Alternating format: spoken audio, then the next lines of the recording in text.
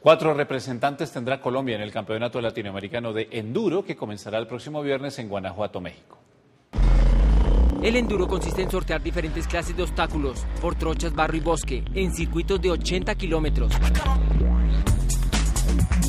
En cinco torneos latinoamericanos de motocross modalidad enduro, Juan Esteban Reyes se destaca por ser el de mejores resultados de Colombia. En Honduras y en Guatemala, donde he logrado el primer lugar en, el primer, en la primer válida y el segundo lugar en el, en el año 2012 en eh, Honduras.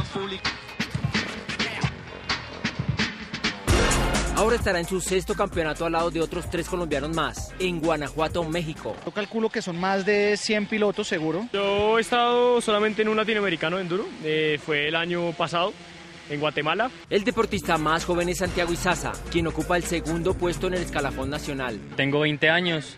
He corrido hasta ahora en Chile. Juan Reyes ganó el torneo nacional de enduro que se hizo en la pista de Cajicá, en Cundinamarca. Esperamos como objetivo por lo menos lograr el, eh, eh, si no es el primer, el segundo lugar. El latinoamericano de enduro se realizará del 28 al 30 de junio, con un total de 7 horas y 250 kilómetros de recorrido. Yeah.